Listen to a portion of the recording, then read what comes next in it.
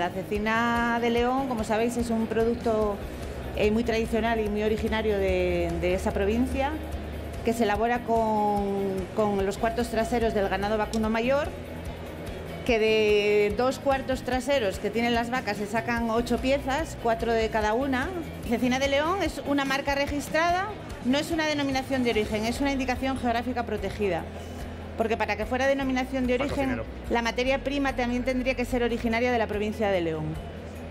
Pero Cecina de León sí que es una marca registrada por el Consejo Regulador de uso exclusivo para los productores que cumplen una serie de requisitos en el proceso de elaboración y en la materia prima.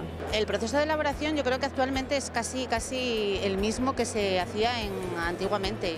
El despiece de, de los cuartos traseros del ganado vacuno mayor, eh, el salado en un primer término, eh, el lavado después para que la sal se desprenda de, las piezas, se pasa a una fase de asentamiento que está a una temperatura eh, controlada durante más o menos dos meses y luego ya se pasa a, la curación.